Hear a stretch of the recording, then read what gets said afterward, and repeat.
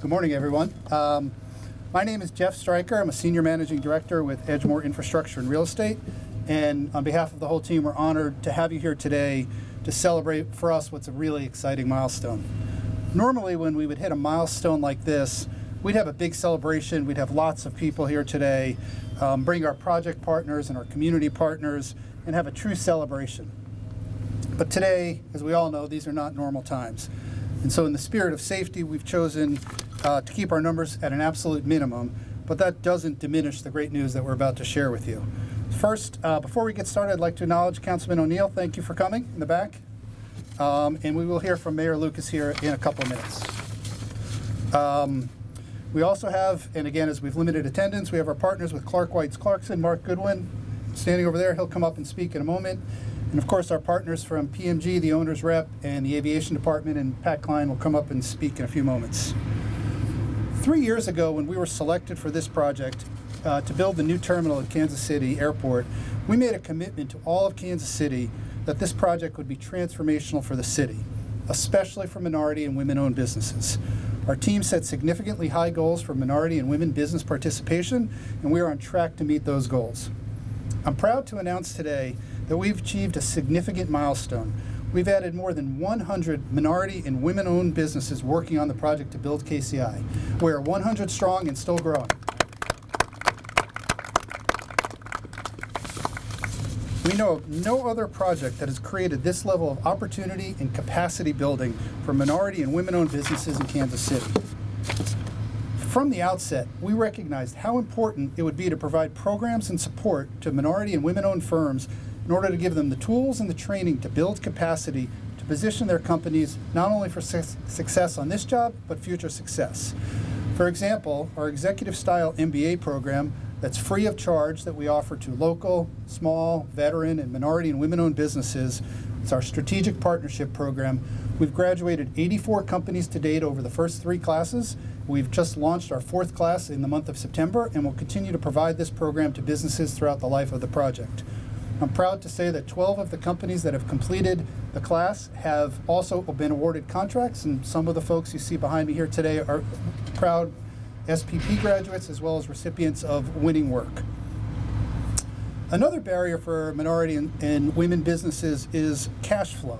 Such a large project, and in the construction industry, from the time it takes for us to get paid, to pay the contractor, to pay subcontractors, there's often a big lag in payments that go to subs that can hurt businesses. And we wanted to eliminate that barrier. So we implemented a pay without delay program. We pay minority and women owned businesses within 14 days after their work is completed to make sure that we are not hurting any business and helping them grow and build capacity. Another program that we've set up is to help firms get access to capital. We have a wonderful partnership with Lead Bank where we offer a low interest loan program and uh, firms can apply to uh, get loans or lines of credit to use to help either acquire equipment or working capital. I'm pleased to report that Lead Bank has uh, to date provided over $4 million of loans to businesses working on the project. As I said, a milestone like this would not be possible without cooperative partners, and a project of this size in the airport has so many. And with that, uh, if you please join me in a round of applause as I introduce Mayor Lucas, who's been a friend to the project and to all of us. Thank you. Thank you so much. And watch your step. Thank you so much. Well, it is uh, such an honor to be with all of you. One thing I wanted to note uh, as we started, while we live in very interesting times, uh, I want to start with acknowledging a group that doesn't get acknowledgement nearly enough and that are the women and men who work for the Kansas City Aviation Department who every day throughout the politics of new airport terminals and everything under the sun, every issue, do hard work. I see some of you here today. I thank you for what you do. I thank you, Mr. Klein, for running a good department. And I thank all of those who work for Kansas City each and every day. I also want to give a, a shout out to my committee colleague, Kevin O'Neill. I've enjoyed working with him, frankly, even before we were working together. I know that he, so many of us on the city council and as mayor, have recognized that the goal for this project from day one was to be transformative. And transformative didn't just mean a new airport terminal that would be world class, unique, one of the greatest in our country, but also transformative in how we support businesses, how we support women and minority owned businesses, and frankly, how we support women and minorities and so many folks that are trying to get good, solid, outstanding work like you can see on this airport project. To take us back into time in a magical world I call 2017, you may all remember that back then we used to spend a little more time closer together physically, but we were having a really big and significant discussion about the KCI airport as a city, as a city council, frankly, as all of us. And a big part of the reason that the voters approved this airport project by such a high margin was the difference that it could make for Kansas City and our region. What you are seeing today are promises kept. Promises kept to help support new businesses or existing businesses grow. Promises kept to make sure that when we look at the workforce that the city has to offer for the next big project, because your press people, I'll just say, whether it be a baseball stadium or anything under the sun, that next big project will say, look at all of the opportunities, all of the businesses, all of the workforce, all of the laborers making prevailing wage, all of the people who have a chance to work on this project and to make Kansas City continue to grow. That's what this is about. It's about businesses, it's about families, it's about building communities. And I will say this we spend a lot of time right now, perhaps necessarily so, in America talking about how we can solve big, seemingly existential problems crime, race relations, housing, poverty, health care. Well, the real way you solve it is with good jobs and good businesses and good people like those who are standing behind me today who've invested in making sure that there are opportunities not just for themselves and often not for themselves, but for those who work with them, those who work for them, and those who will be running their businesses well into the future. That's what this KCI Airport project is about. That's what folks like Jeff Stryker have spent hours and hours pursuing. And although I know sometimes the controversies, the conflicts, the debates get all the attention, every now and then it's good to say, job well done. Well, I say job well done to you, Mr. Stryker. Job well done to our Director of Aviation, our Director of Human Relations, Philip Yelder, and particularly, job well done to so many of these businesses. We have 100 now. We look forward to having even more. And I'll be proud not only when we open the airport, new airport terminal. Justin Meyer always reminds me, just the terminal. But when we open the new airport terminal, I'll be even prouder though when six months from then, one year from then, even further, we're saying we are ready for the next outstanding, exceptional project in Kansas City. And we don't have to fight for hours and hours and months and months to say, will people from my community be included? Will people from a different community be included? We'll look to the KCI project as a template, not just for Kansas City and the region, but I think nationally for how you can build an outstanding project, how you can be inclusive, and frankly, how Kansas City gets things done. Thank you all so much, and congratulations on all your success.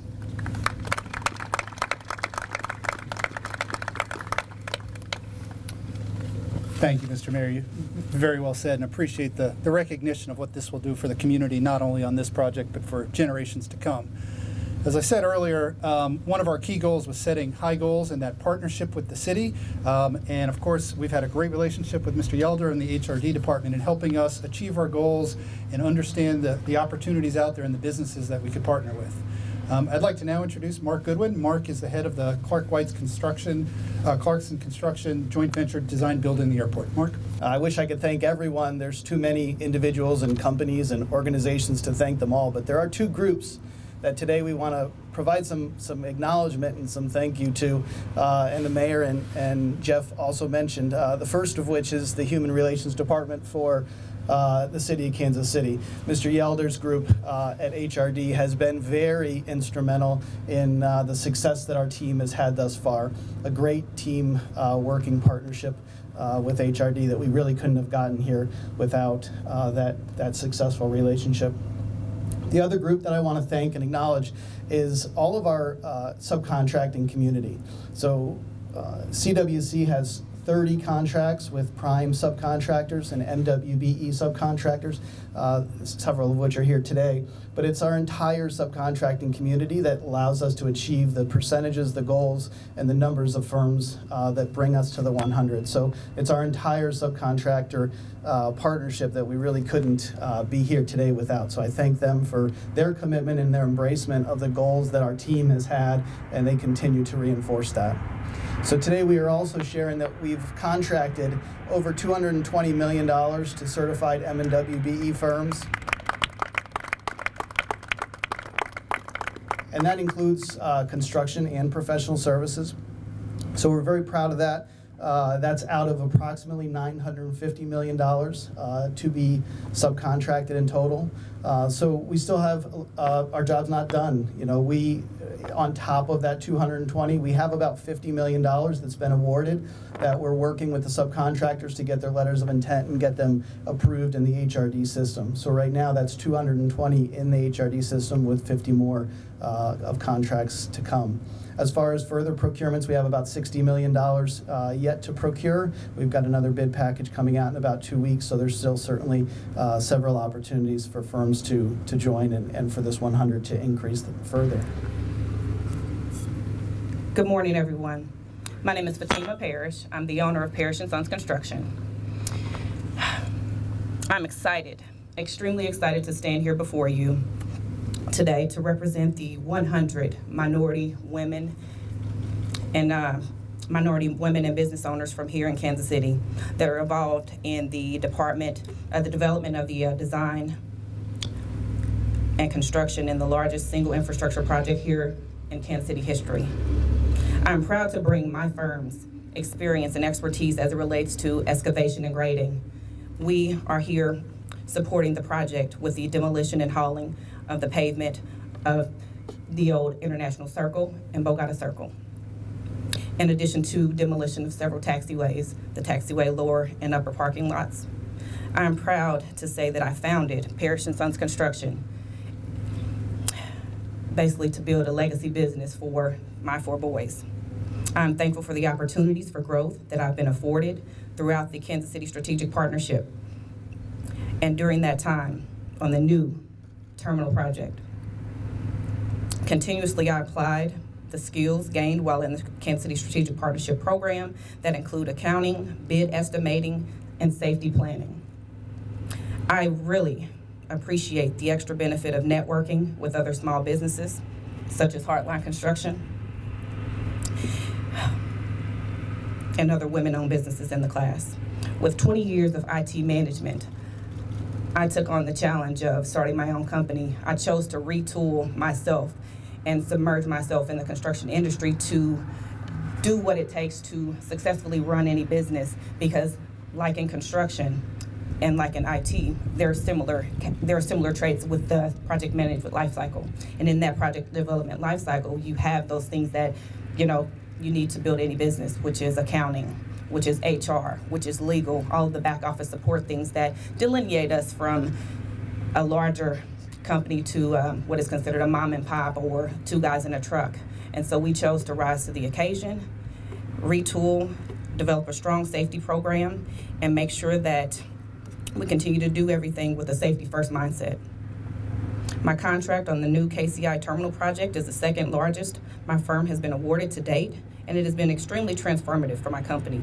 I truly value being a part of providing in, employment to the city of Kansas City, right in this community where I grew up. I want to thank my husband Clark, my father Carl for his entrepreneurial spirit that I inherited, and I'd also like to thank the Edgemoor team, Clark Weitz Clarkson, for investing in my business. And I'd like to say, hey guys, I'm going to make you all proud. My team is thrilled to play a role in such a significant project in our city's history and honored to be one of more than 100 strong Kansas City small businesses helping make the terminal take flight onward and upward.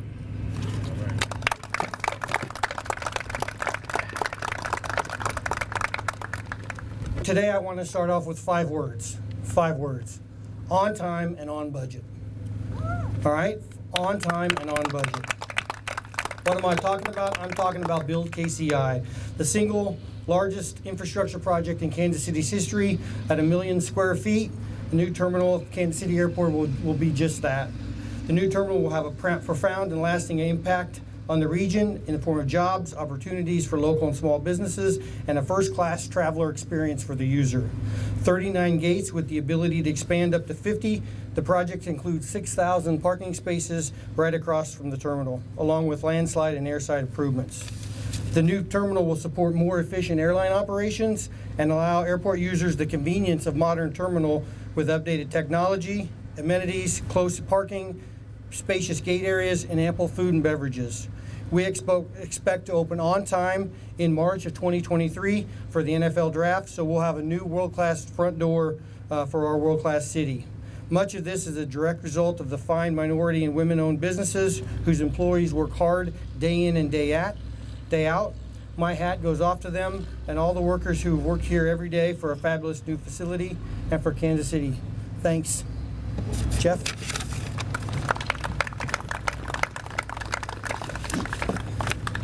Um, So, thank you, Pat. I appreciate the, the words. Um, as we close out the program today, I just wanted to remind folks uh, from the media that, as Mark mentioned, the members of the MWB firm, as well as the Edgemoor and CWC team, and hopefully the mayor and the councilman will be around to answer some questions for you about what it's like to have worked on the project so far and, and how their businesses have um, benefited.